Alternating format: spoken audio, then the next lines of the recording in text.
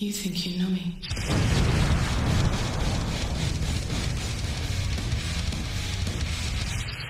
What up, YouTube? Welcome to Rated M Wrestling. It's your boy Mo. So today we got a reaction from Wrestling Gifts. My boy, how did look? I can't talk. How the WWE failed Roman Reigns from 2014 to 2020. Uh, shout out to Wrestling Gifts. I'm a big fan of bro. Low key, his videos got me through the pandemic. I'm not even gonna hold you. But now, 2014, like from Roman Reigns, man, at his babyface, he's like, don't forget, he started hot. Like people liked him and then he did the stupid ass uh, Suffer and Succotash promo, and, and it just died from there, bro. And it just got worse and worse, and then the booking decisions got worse and worse. Man, there were so many chances they had to repair Roman Reigns, but I'm glad that they've done it now with this heel turn. But yeah, let's let's get into this. If you like, if you're new here, like the video, comment down below, subscribe to the channel. If you're not new here, like the video, comment down below, share the video around. Let's get it, man. Let's go.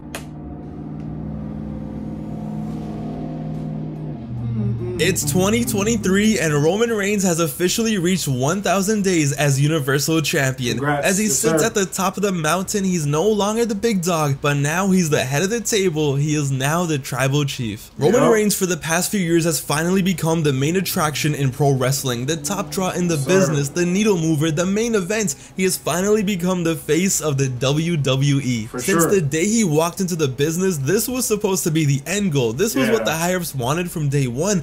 This is what the potential looked like, and the top was where Roman was destined to be. However, it was not that easy. Nope. What was supposed to be an easy path to the top, the man was supposed to be a surefire lock, found himself in limbo for six years. For six years, the man found himself being booed out of arenas, being the most hated man in wrestling, being considered the most overpushed wrestler in decades, winning awards such as most overrated by the Yeah, Wrestling Observer, man, the most that. hated wrestler of the year by Pro Wrestling Illustrated, and somehow turning that around to being awarded best box office draw in 2022. That's crazy. Roman Reigns clearly had That's all the tools, all the potential, but for six years he was public enemy number one for good reason.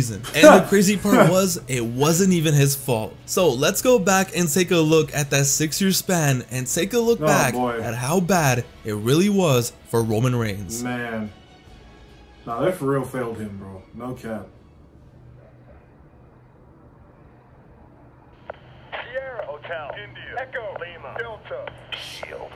Yes, sir. And the story began right after the Shield broke up. It was mm-hmm. obvious that the company had three main eventers on their hands, three Yep. single stars who will carry the company into the future. But there was never any doubt that Roman was clearly going to be number one, that Roman was going to be the John obvious. Cena for the next generation. Yep. The problem was though, they wanted him to be exactly like John Cena. Like yeah, overnight after the Shield was over, Roman Reigns became a totally different person. Apparently, he had a split personality or something because out of nowhere, he went from being normal to doing the most extra and annoying facial expressions every time he was in the Yeah, ring. He went from never talking to having the most cringe dialogue you could imagine every single week. Roman Reigns went from being the silent killer to a PG era kissing babies and hugging fat girls John Cena that's his wanted to daughter. be real quick. As a result, That's his daughter. Come on, kiss him. That's his daughter, yo. Chill out. But yeah, I low-key forgot about that. Roman, Roman, man, they had him saying some stupid shit. But it didn't really it didn't really hit until that stupid ass suffer succotash bullshit, man.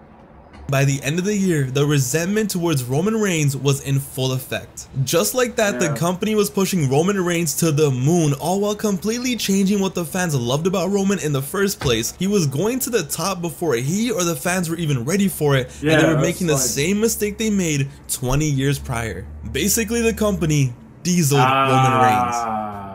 Diesel in 1994 was awesome. Very the fans true. loved him as a quiet, badass bodyguard to Shawn Michaels. Then, out of nowhere, That's Vince makes him the champion, and overnight, Diesel went from being the goes quiet badass that everyone loved to wearing suits, going on talk shows, cutting promos every single week, having a personality, trying to be funny, and just No. being the clean cut face of the company, the Didn't work. nice guy. But the issue was, nobody wanted that. And No, just when didn't it looked like Diesel was the next big star of the company, he just ended up It- being it- it average. flopped, and yeah. business just kept going down and down when Diesel was on top. And he never recovered until he went to WCW, became a heel, and became Kevin Nash. And Very here in 2014, it seemed like history was repeating itself and everyone was noticing it. Roman Reigns was getting the corporate makeover. So they Nah, wanted him to smile more, they wanted him to make some more jokes and make the crowd laugh. And Roman Reigns, just six months after leaving the Shield, was about to win the Royal Rumble. Mind you, he had been injured and out of action from September to Oh, man. December. So after just two um, that really derailed him. That injury set him back because he had a lot of momentum. He really did. Out of the the Shield breakup, he had a lot of momentum. But then he, that hernia injury happened before Night of Champions, if I remember that correctly. And it just from there they brought him back and then try to keep the same momentum. It don't it don't work that way. It just don't work that way, especially when you're an up and comer. You know what I'm saying? When you're an up and comer and then you go out with injury, when you come back, you don't you don't just get to go straight to the top. You know what I'm saying? That's why people were like Daniel Bryan because Daniel Bryan was a top guy when he went out. He was the world champion before he went out. So when he didn't win the Rumble, I mean, he's probably gonna talk about it. Roman, I think that's the moment that ruined Roman Reigns. But we can talk about that in a minute. months of being on his own, getting injured, and missing months of TV, he was brought back, and just like that, he was going to win the Royal Rumble. What for other stars like Cena, Austin. Rock took years to build, from mid-card titles to legendary feuds before they ever even sniffed the main event. For those stars, they built them up so much that the fans were begging for them to be the top star. But with Roman. Reigns, it was like it was so fast, and the evolution was so fast. rushed. The change was so drastic that it became the company was begging the fans to treat him like a top star. And of course, that did not work out. The boos just got louder and louder every single week. Every and this week. man was still wearing the same Shield outfit, coming out to the same Shield theme. They were trying to bank on any goodwill the Shield aesthetic had. Roman Mm. Right, Reigns, to no fault of his own, was being booked as a total disaster, and the rest was just history. Man. When he won the Royal Rumble and the crowd rejected Oh him so my bad that even the Rock was confused, it was a surprise to no one except apparently the company. There was no need to rush him into that position. There was no need to set him up like that. At but all. these idiots just kept digging the grave deeper and deeper. So he wins the Royal Rumble, he gets rejected. What do they Man, when Rumble season comes around, I might either make a video on how bad this Rumble is, or I might just do a ranking of all the Rumbles. And this,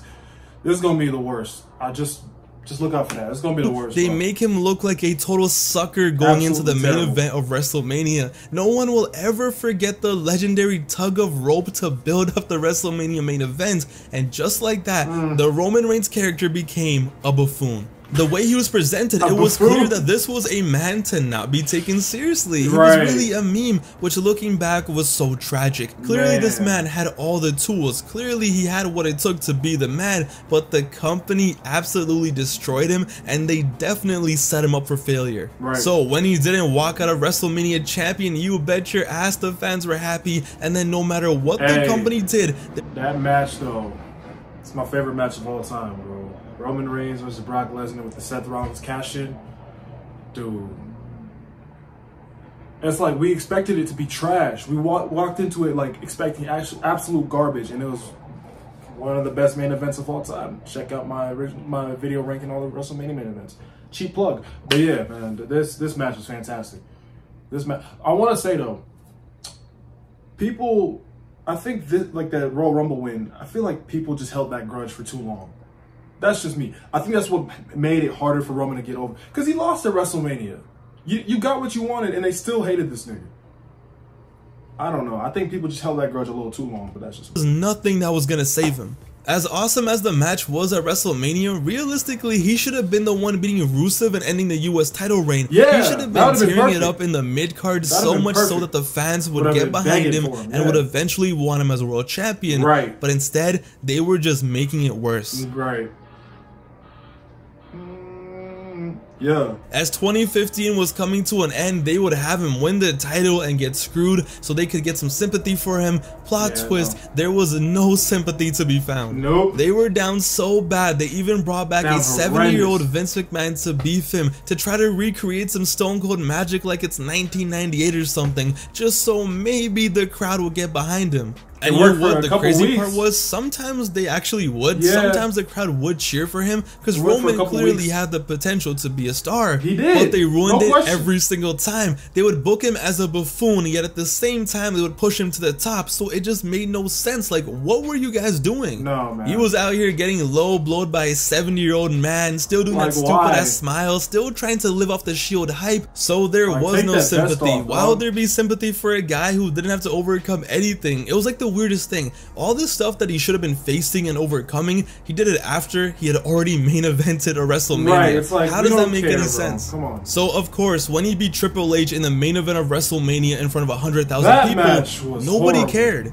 Because Horrible. once that stain was on him, sadly there was was nothing he could do. Once done. the fans saw him as a corny, overpushed buffoon, there was no coming back. No. And the company, instead of changing They things up, they just they kept could. digging They the grave. work. So it didn't matter that he had great matches with AJ Styles Nope. because the time for him to have great matches and get the fans behind him, that time was already over. And it didn't help that Seth Rollins the whole time was the Bret Hart to Roman's Diesel. Yeah. In 2016, Seth Rollins became the guy for so many fans. All the fans that hated Roman's push, they just got They behind Seth. Seth. As time went on, they But did everything they could with Roman. They, They- they kept Seth heel instead of just capitalizing on the fact that everyone likes him. That's printing money. Just give people what they want to see. That's literally how you print money, bro. What, what, what's, your, what's what's the malfunction? I will say though, I was one of the Roman Reigns Roman Reigns fans that had to like preface everything by like, I don't agree with all this booking, but I mean, I still like the guy. I was always that. I was always I was that one guy. I was that guy. Delegated him to the mid card so he could be US champion and grind it out before going to the main event and they were just praying and hoping that maybe, just maybe, the fans will like him because Right. he's not in the main event anymore. Nope. No matter what feuds, no matter what matches he had, no matter how good they were, Roman Reigns could have went back in time and stopped 9-11, but at the end of the day, Okay. it was still Roman Reigns. It was still the guy who everyone just perceived as a bozo. And things just got worse when he got Yeah, sent man. back to the main event. For some reason, they thought the way to get Roman Reigns over again, to get the fans behind him once again on the main event scene, was to have the man that everybody hates beat up a 52 year old man who happens to be Oh probably the most beloved legend on the roster. For some reason, the company thought making Roman Reigns commit elder abuse was going to get him loved by the fans. So no, of course This not. didn't work at Instead, after beating up the old man, Roman Reigns Completely came out to backfired. Raw and was booed for 10 minutes 10 straight. In one of the most iconic promos of the 2010s, Bro. Roman Reigns just stood there and the One of the fans from around the world who had three years of built-up resentment to this man just let it all out. Yep. And if there was ever a time to make Roman Reigns heel, This, this, was, the it. one. This is my yard now. Perfect heel start. Perfect start. But they didn't do it. instead, they just kept digging the grave. So after Why? beating up an old man didn't work, what did they do? They got desperate. They brought back John Cena for a B pay-per-view for no mercy of all God. shows to put over Roman Reigns, Like, to pass the torch the quietly and no mercy for some reason. And just maybe, just maybe, the fans will somehow love Roman Reigns. No. The issue was though, a week before the match, John Cena absolutely murdered Roman Reigns on the microphone. Cena left him wasted, calling out Oh everything the God, fans hate about Roman and his right three-year here. push. How he will never fit Woo, Cena's shoes. How he's just a corporate-made John Cena wannabe. Yup. How he can't cut a promo to save his life, and they Yeah, just had man. Roman stand there And and, take just it. take it, looking like the Bro. biggest bozo I had Looked ever like seen in my life. And yeah, eventually he would stand up and talk and say, you know, Cena, you're a bitch. But the damage was done. it was too late. So Roman beats Cena. Cena passes the torch. Nah, it doesn't mean anything. Roman Reigns even reunites with the Shield with the sole purpose of, I hey, this, this, might get him cheered. I saw right no. through it. And just like I said before, Roman Reigns was stuck in limbo. He would win titles. Like I enjoyed the Shield reunion, but everyone saw right through it. We saw what you were trying to do. We saw it, bro. You wouldn't. You can't get past a lot. You can't get past wrestling fans. There's nothing you can get past a wrestling fan. They see it all, bro. Come on. Lose Especially titles, nowadays. have horrible WrestleMania main events, This go back to the sucked. mid card, go back to the main event. But Roman was never able to become what he was destined for, no, No. matter how hard the push was. Even though all the tools were right there, even though he had it in him, the company failed him. Hell, the most sympathy and love from the fans he got was when he announced that he had leukemia again and when he came back from it because he finally came off as a real person, human as a being. relatable human, as as Joe, as someone real, Yeah. someone someone the fans could connect to, not a robot designed in Stamford, Connecticut in WWE headquarters to become the next John Cena. Roman Right. Reigns' initial run ended with more of the same. A stupid feud with Shane McMahon of all people, a feud with Baron Corbin over Oh dog food, God. and was even supposed to wrestle Horrible. Goldberg for the title at WrestleMania. Yep. It was literally a career limbo. And it was getting sad, okay? It was a man who had all the talent in the world, who should have been the guy who wasn't some corny buffoon that he was being forced to portray. Literally. as time went on, we found out that he didn't want to say those stupid ass lines and jokes in the promos. crazy. He didn't want to make those stupid facial expressions in every promo. Nah, instead it Wow. was the WWE, the booking, the creative, the vision that the higher ups had put Roman in this position, Yep. and they handled it horribly Horrible. since day one. And because of everything they did in the first year or two, the man himself and the fans had to suffer until 2020. Which, thank God they made this. But switch. luckily for everyone involved, when Roman came back from his hiatus during the peak of the pandemic, he came back with a vengeance. yes, He came back and he came back on his terms. He wanted to do things his way, to His become a heel, bro. to work with Paul Heyman. No more creative telling him how to act, what facial expressions so to do, this and that. that. It was about him. It was Paul Heyman and all the corniness, all the years All of of him being gone. presented as a clown. Those days were over. Done. And he went from being the top dog to the tribal chief, and the rest was history. So, how bad was the Roman Reigns run from 2014 until 2020? Mm. It was bad. What was supposed to be the prime of his career was six years that Roman, that the company and the fans like to pretend never waste, happened. yeah. The fans got six years of being force fed a corny version of Roman Reigns. Roman Reigns got rejected and booed out of arenas for six years. And there was no reason for any of that to happen. Yeah, but the company preach. just kept digging the grave.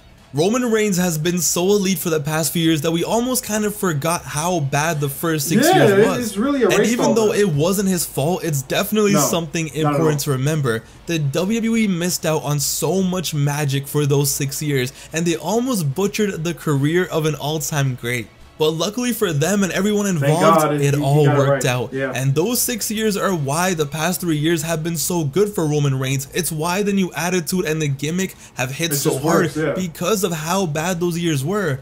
But that doesn't change the fact, and it shouldn't be forgotten, just how dirty the WWE did Roman Reigns They from did him so 2014 until 2020. Man. It is honestly a miracle that it all worked out how it did. Thank God, man.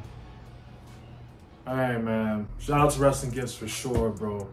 Shout out to Wrestling Gifts. Great video. This is my boy right here. But yeah, Roman, Roman from that time period. Like you could see the cracks of something great every so often. There was always like tho- those couple of moments where like, oh, th- this could be so great, and then they give us some BS, like WrestleMania 34 main event. Nobody wanted that. We all wanted Nakamura and Styles main event, and they, I, in my opinion, I think they sabotaged that match, that Styles Nakamura match, just to, just for Roman and Brock to be better, and that ended up being a colossal mess. I just the Roman push. I feel so bad for him, but I'm glad that they've been able to rectify all that nowadays, and you know, he now he's a thousand days world champion, one of the greatest world champions of all time. So shout out to Roman Reigns. Thank you all so much for watching. Shout out to Wrestling Gifts for making the video. Like the video, comment down below, subscribe to the channel, and I will see you on the next one. Peace out.